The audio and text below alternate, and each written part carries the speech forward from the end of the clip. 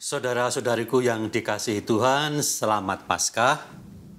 Inilah waktunya bagi kita untuk menuai semangat Paskah, semangat Yesus yang membangkitkan hidup kita. Mari kita menuai semangat Paskah, menyingkirkan kesedihan dengan menyadari kasih Tuhan.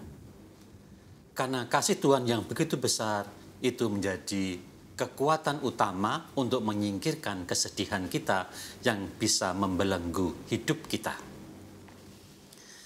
Kesedihan, sakit hati, ataupun terluka dalam hati bisa kita alami, mungkin hanya sekali, tetapi persoalannya bukan sekali itu, tetapi kita membuatnya berkepanjangan, walaupun mengalaminya hanya sekali.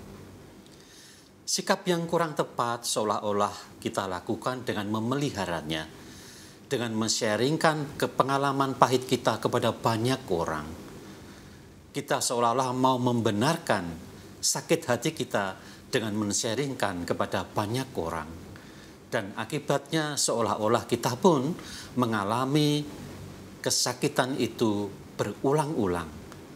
Padahal kenyataannya yang terjadi secara real cuma sekali tetapi karena kita berkepanjangan dan menceritakan kepada banyak orang, kemudian kita seolah-olah mengalaminya berkali-kali. Ini tentu saja bukan cara yang tepat.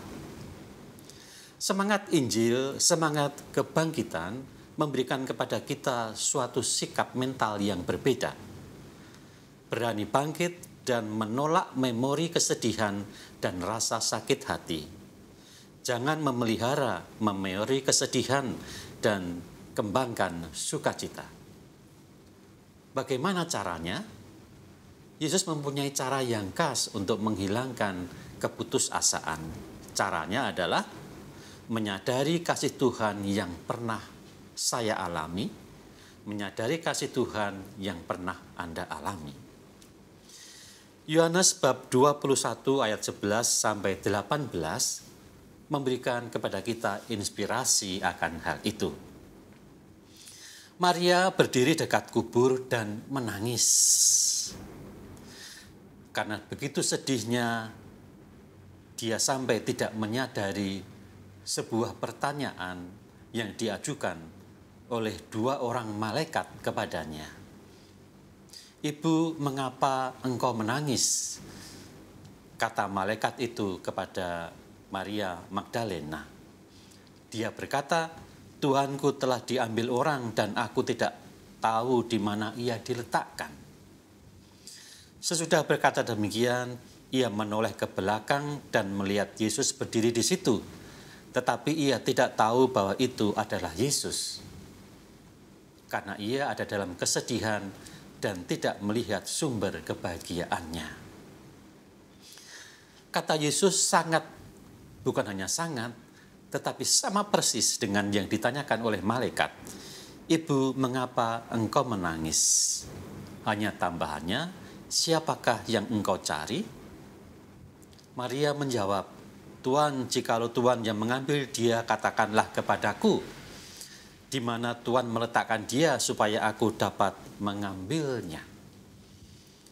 Jadi rupanya kesedihan yang berkepanjangan membuat Maria tidak mampu melihat dua malaikat. Membuat Maria tidak mampu melihat Yesus sendiri yang hadir. Dan kemudian Yesus mempunyai cara yang tepat. Ia tidak bertanya kepada Maria Magdalena, tetapi dia memanggilnya Maria.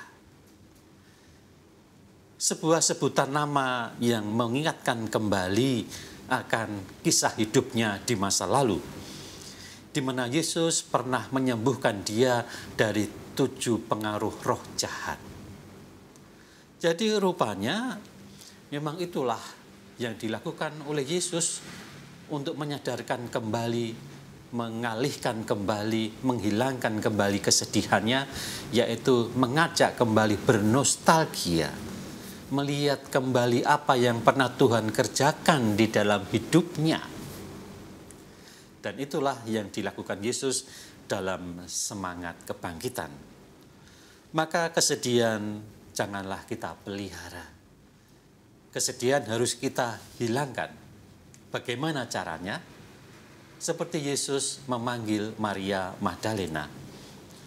Maka ketika Maria Magdalena menyampaikan peristiwa itu kepada para murid dan berkata, "Aku telah melihat Tuhan." Itu bukan berarti bahwa dia hanya melihat Tuhan, tetapi dia juga telah melihat kembali Tuhan yang pernah hadir di dalam hidupnya. Demikian juga ketika ada orang mengatakan, sadarilah kasih Tuhan. Itu bukan berarti kita sedang melihat Tuhan, tetapi itu berarti juga bahwa kita diajak untuk melihat kembali realitas Tuhan yang pernah mengasihi kita, yang pernah menumbuhkan kita, yang pernah menyembuhkan kita. Maka kesedihan, rasa frustrasi akan menjadi hilang apabila kita mengikuti cara Yesus sendiri, mengajak kita melihat bagaimana Ia pernah memberikan kepada kita kekuatan, kesembuhan, dan penyembuhan. Amin.